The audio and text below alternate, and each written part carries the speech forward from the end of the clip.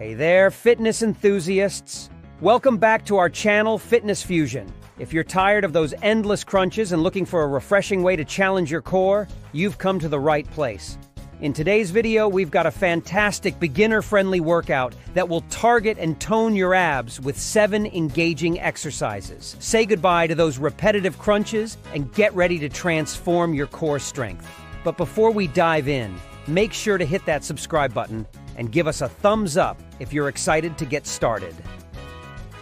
While doing a crunches workout or holding a plank for five minutes is undoubtedly impressive, if you're new to ABS workouts, crunches and planks might not be the best way to target the muscles in your midsection. Strong abs are far more than just an aesthetic goal. They can help you sit and stand with better posture, protect your lower back from injury, and perform day to day activities, like carrying a heavy bag of shopping to your front door. But where should you start? The workout I am going to show you in this video requires you to do 10-12 reps of each exercise and repeat the circuit three times. All you'll need for the workout is a set of weights. This could be some of the best adjustable dumbbells or best kettlebells, a set of weight plates, or simply a couple of heavy books or water bottles if you're working out from home.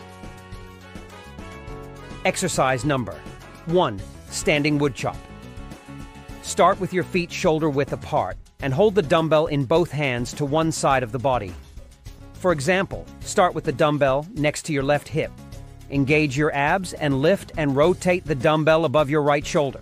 As you lift, pivot your left foot so your torso to help the elevation. This is the lift part of the movement. Next comes the chopping part. Moving with control, lower the dumbbell back to your starting position, keeping your core engaged. There should be minimal movement from the trunk during this exercise. Exercise number two around the world. This exercise works best with a kettlebell, but you can use a dumbbell if you need. Start with your feet shoulder width apart and hold a kettlebell in both hands in front of your pelvis. Engage your core and rotate the kettlebell around your body, swapping which hand is holding the kettlebell as it moves around your waist. Keep your torso still and your core braced throughout the movement. Exercise number the three, farmer's carry. To do this exercise, start by standing with your feet hip width apart and two kettlebells placed on either side of your feet. Bend your knees and lower into a squat. Keep your chest lifted and the weight evenly distributed across your feet. Look ahead. Grip both kettlebells, engage your core, and set your shoulders back and down. Push through your heels to stand. Begin walking without leaning forward, backward, or over to one side. Exercise number four standing twist. This exercise is a standing exercise of a bicycle crunch. The key here is moving slowly and with control. Start by standing with your feet shoulder width apart and your hands behind your temples. Engage your core and lift one knee up towards your chest, keeping a 90 degree bend in the knee.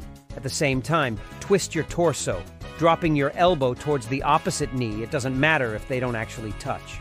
Reverse the movement to return to your starting position and repeat on the opposite side.